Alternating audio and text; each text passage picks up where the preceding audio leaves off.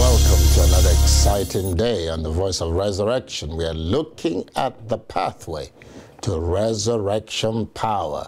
The Holy Spirit came on the disciples through Jesus when he breathed on them and gave them the power to release and to retain things.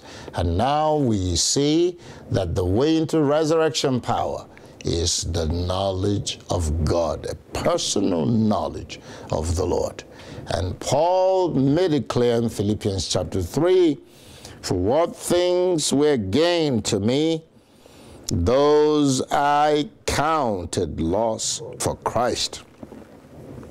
Yea, doubtless, and I count all things but loss for the excellency of the knowledge of Christ Jesus, my Lord. Beloved, it's not only that I, I need to know him, but that knowledge has to be excellent. That the Lord will show up with his best. That my own worship is so precious that I ascribe such a place to him. That he's excellent. I love the way the scripture says in the book of Psalms, How excellent is thy name, O Lord!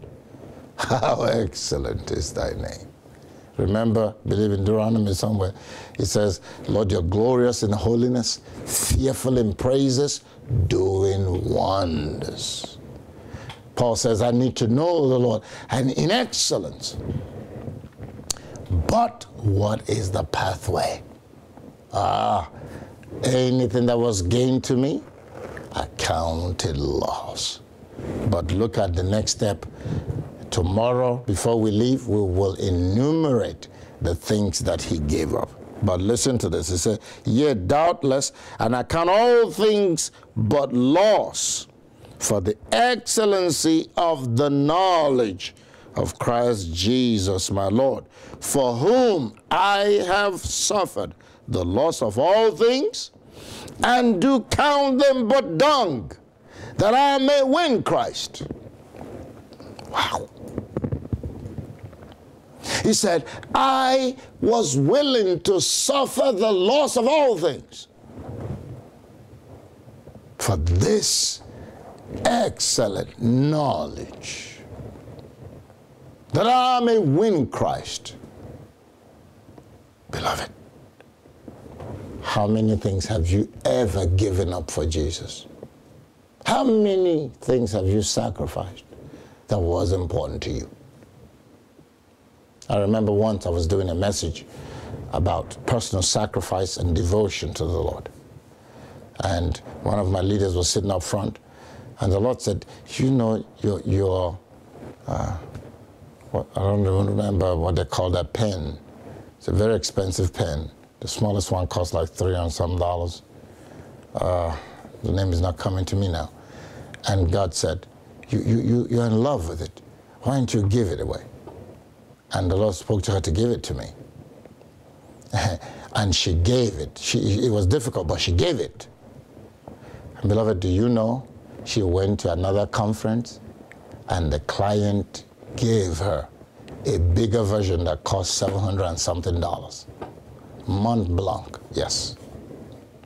You notice how God would take something from you and give you more. What have you ever given up for the Lord? Membership to some organization? Have you done it?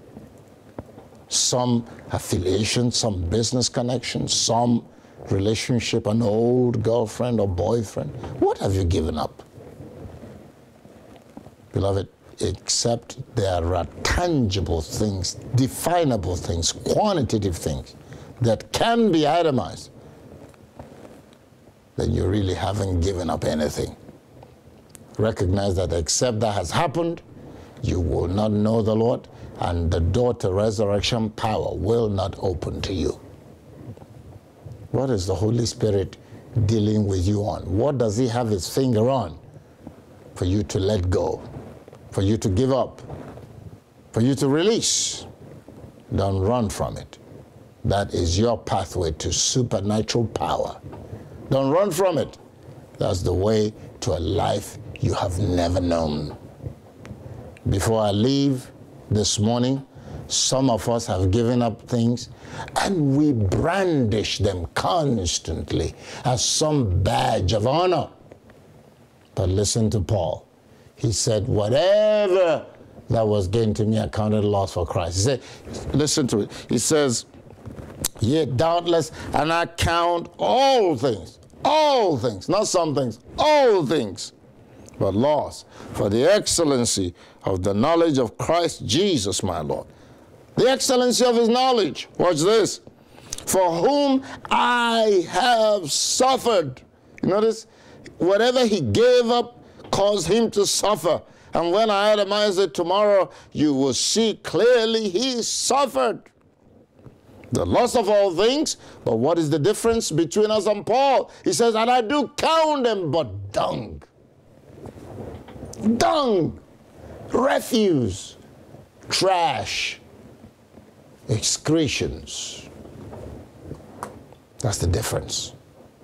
Some of us have indeed given up some things, but we pride ourselves in them. We talk about them.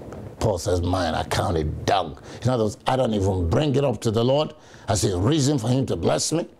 Some of us, we give a few dollars and we start making noise. Lord, I gave my tithe. I did it. Oh, shut up, beloved. You offend in the spirit. You offend. You offend. Whatever you've given up to the Lord, count it but dung. Count it but dung. Don't even mention it. Tell him, Lord, you gave up heaven for me. You gave up being the word in heaven and became a man. So how can I mention I gave up a car or house or anything to you? What an insult. Don't forget, you need resurrection power. And what I'm teaching you is the way to it. Whatever he has the finger on, let it go. We'll see you tomorrow. Bye-bye. The Lord is waiting on you. Yes, he is, yes, he is, yes, he is, yes, he is.